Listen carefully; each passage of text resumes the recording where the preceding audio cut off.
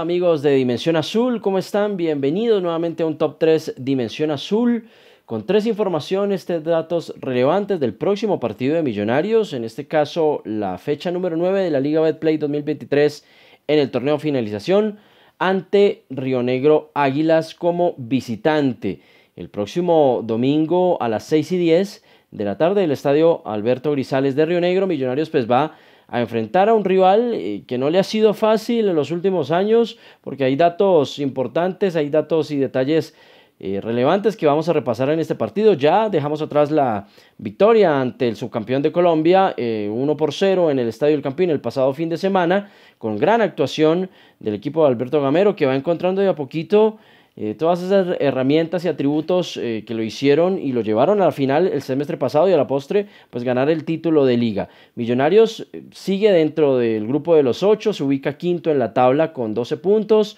a dos del líder, que en ese momento es Independiente Medellín, pero pues enfrentando obviamente y siguiendo el camino de liga. Así que vamos con tres datos importantes sobre este partido entre Millonarios y Río Negro Águilas como visitante. Top número uno. Bien, como siempre, el historial que tenemos para ustedes entre el equipo que va a enfrentar a Millonarios en la próxima fecha, ya sea torneo oficial o copas internacionales, en este caso es contra Río Negro Águilas. Pues bueno, en total se han presentado 24 partidos entre estos dos equipos desde el año 2011, desde que Río Negro Águilas eh, ascendió a primera división. En esa ocasión se llamaba Itagüí Taires y pues eh, jugaba en este municipio de Antioquia. Se han presentado 24 partidos, 6 victorias para Millonarios, 6 victorias para mm, los aurinegros y 12 empates. La última vez que Millonarios y Río Negro Águila se vieron las caras y jugaron por liga en un partido oficial, eh, en este caso Millonarios oficiando como visitante, fue el pasado 14 de agosto del 2022. Fue un empate 0-0 por la fecha número 7 de la liga Betplay 2022 en el torneo finalización y en esa ocasión pues hubo un empate, Millonarios eh, ostenta pues un eh, dato y como básicamente una, un récord no muy agradable y es que al día de hoy, Millonarios eh, no le ha ganado, no le ha podido ganar a Águilas del Río Negro como visitante eh, por liga. Es decir, es el único estadio en el que Millonarios no conoce la victoria, por lo menos en primera división. Es una cuenta pendiente para el equipo de Alberto Gamero. Creo que es el único equipo al que no se le ha podido ganar como visitante, sobre todo en la época de Alberto Gamero. Y pues esperamos que en los, el próximo domingo pues se pueda romper esa racha negativa, ese dato que no es bueno para Millonarios. Si bien Millonarios eh, iguala en el historial a Águilas en, en, cuestión de triunfos, pues no le ha podido ganar de visitante y pues esta sería una buena posibilidad para tomar la delantera en ese historial. Entonces la última vez, 14 de agosto del 2022, que Millonarios y Río Negro jugaron eh, en el Estadio Alberto Grisales por liga. Top número 2.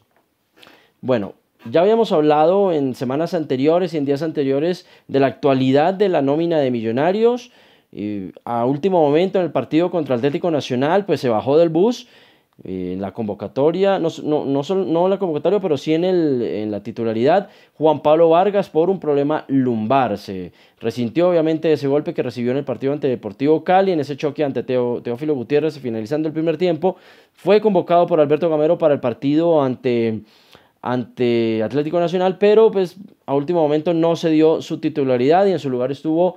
eh, Jorge Arias, que hizo realmente muy bien en la saga defensiva. Sin embargo, esperamos que para esta semana ya el jugador costarricense pueda formar parte de esa nómina eh, de viajeros y obviamente de la nómina titular, seguir dándole rodaje a Juan Pablo que venía pues al comienzo del semestre con una lesión de rodilla em, y nuevamente pues este golpe lumbar, todo parece indicar que podría estar en la nómina de viajeros para el partido ante Águilas. Obviamente, al momento que se graba este video, todavía no se ha enviado de manera oficial eh, la nómina de, viajeros. Es muy posible que en los próximos días eh, Alberto Gamero lo pueda hacer oficial a través del club, pero pues se especula que podría estar el Tico viajando a territorio antioqueño pues para poder jugar el partido el fin de semana. El otro que no, que sí definitivamente no va a estar y que sigue su tiempo de recuperación es Luis Paredes, Luis Andrés Paredes Arauca, que obviamente en ese partido contra el Cali accidentado, como ya lo habíamos dicho, pues sufrió unos 15 de grado 2 en su tobillo izquierdo y pues estará eh, un par de semanas más en observación hasta que se pueda recuperar y formar parte del plantel principal. Digamos que esas son las únicas, eh, la única baja digamos, considerable a la espera de lo que pueda pasar con Juan Pablo Vargas. Sin embargo, el grupo completo está a disposición de Alberto Gamero para seguir dándole rodaje a esa titularidad, a ese equipo eh, que se presentó en el fin de semana pasado ante Nacional y que pueda conseguir eh, y afianzándose obviamente en su juego, en su eh, modalidad de ataque, afinar algunas cosas en cuestión ofensiva para que el equipo pues, pueda seguir cosechando puntos y llegar a los primeros lugares de la tabla. Top número 3. Bueno, ya de, la mano de lo que veníamos hablando, el tema de la actualidad del equipo, también hay que hablar con algunas ausencias que podrían llegar a darse en los próximos días. Ya dimos a conocer el día de ayer en nuestras redes sociales la convocatoria de la Selección Colombia Sub-23 para Daniel Ruiz y para Samuel Asprilla en un doble enfrentamiento de partidos amistosos ante la Selección de México en los primeros días del mes de septiembre. Sin embargo, eh, también se está a la espera como lo había manifestado Alberto Gamero en algunas charlas con los medios el día de hoy, que también se está a la espera de la lista oficial de la Selección Colombia de Mayores para los partidos de eliminatoria del 7 de septiembre y del 12 de septiembre ante Venezuela y Chile en el comienzo de las, de las eliminatorias de Conmebol. Pues eh, digamos que eh, Millonarios también está presente en eso porque eh, tres jugadores fueron bloqueados, que fueron apartados, por decirlo de alguna manera, para ese partido ante el doblete de eliminatorias y son Álvaro Montero, Andrés Ginás y Leonardo Castro. Es muy posible y eh, estamos especulando que Álvaro Montero puede ser uno de los fijos que va a estar en esa convocatoria, pero a lo que pase con Andrés Ginás y con Leonardo Castro, que también sumaría una nueva convocatoria luego de un microciclo por allá a finales del año pasado, pero que eh, digamos que tiene la oportunidad de conformar esa selección y los llamados por Néstor Lorenzo para los partidos de eliminatoria. Otro también que fue llamado y que se hizo oficial el día de hoy fue, el, hablábamos recientemente de Juan Pablo Vargas, que también fue citado por eh, la selección de Costa Rica para una eh, seguidilla de partidos amistosos eh, el mes de septiembre con miras obviamente al comienzo de las eliminatorias también en CONCACAF. El jugador costarricense pues será llamado obviamente para esos partidos y ni él, y especulamos también que los que llamen a la selección Colombia de mayores, eh, incluyendo también a Daniel Ruiz, que en la selección sub-23, no podrán estar en el partido ante Santa Fe en el clásico capitolino por la fecha 10. Eso obviamente pues eh, a modo de especulación, hay que esperar, evidentemente, la lista oficial de Néstor Lorenzo para verificar si Montero, Ginasi Leo Castro están finalmente convocados a la selección mayor de Colombia con miras a las eliminatorias del Mundial.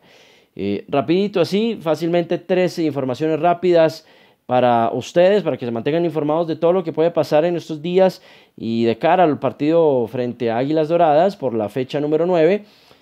ojalá que algunos de los jugadores de Millonarios puedan eh, ser llamados a esta eh, selección. Sabemos de que de pronto se incomoda por parte de los hinchas el hecho de que estén presentes en la selección porque van a hacer falta en el equipo, pero pensemos también que es una oportunidad para ellos, para valorizarse más, para darle más importancia a lo que hace Millonarios y el equipo de Alberto Gamero en el fútbol colombiano y como premio, obviamente, al llamado en su selección. Mi nombre es Darío Lozano, suscríbanse a nuestro canal de YouTube, dejen el like, compartan nuestros eh, contenidos, pendientes muy bien a nuestras redes sociales en los próximos días, en toda la información que se, pueda presentar con el cuadro embajador eh, y pendientes obviamente del próximo partido de Millonarios el domingo ante Águilas Doradas. Eh, no es más, nos vemos en cualquier otro momento, hasta luego.